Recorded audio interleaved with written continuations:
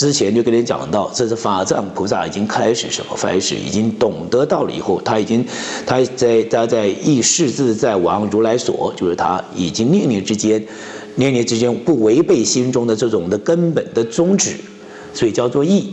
意是自在王如来所，那念念之间就在是自在王如来，是自在王如来就是他心中根本的大觉的觉照，就在如是这个氛围之中，绝无漏失，叫做入如是所。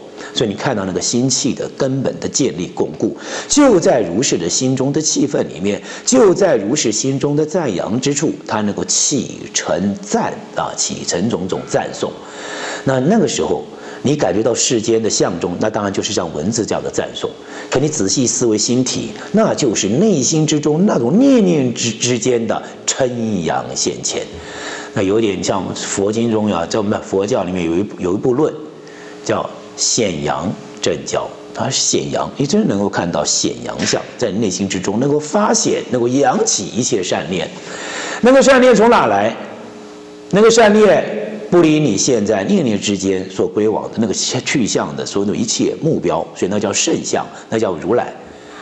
但也绝对不是你现在心者念念之中去弃入的诚意跟发心。所以有这个如来，才有那个弃入；有这个弃入，才看到那个如来。所以在如来叫世自在王，在弃入就叫法藏。世自在王就在一切法中，你已经懂得为自己建立现在内心中的积聚，那叫法藏。那为什么要积聚呢？就在一切一切起心动念里面，你都能够回头去观，那就是根本你的大觉心体的根本的本来的面目，跟本来的本来的宝藏。起心动念现前都是种种念，喜怒哀乐其实都是种种念。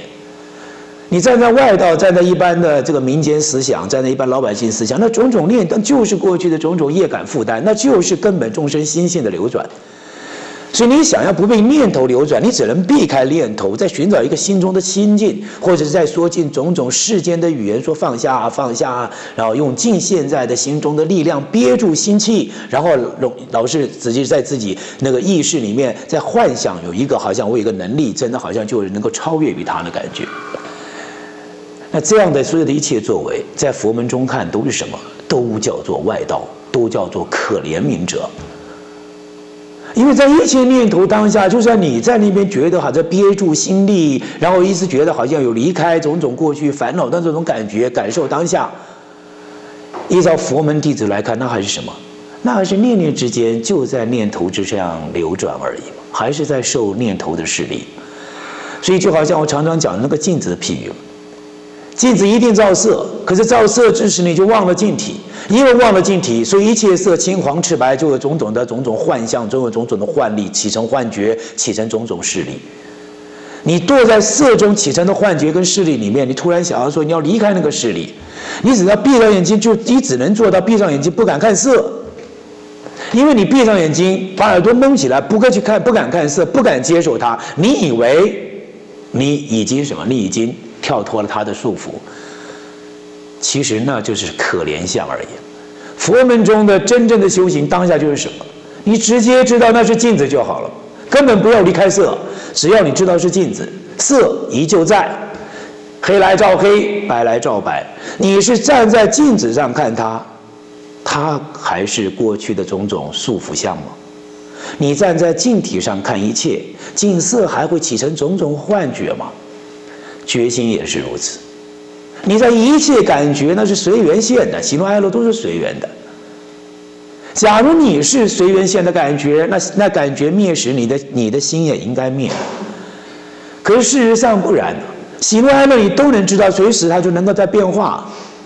所以是喜来之喜，怒来之怒啊！你仔细思维，那能感觉的一定不是喜怒哀乐，所感觉的是喜怒哀乐。它是变化的，能感觉的一定超越喜怒哀乐，所以一般凡夫只是堕在所感觉上，一直在那边妄生妄死，妄执为我。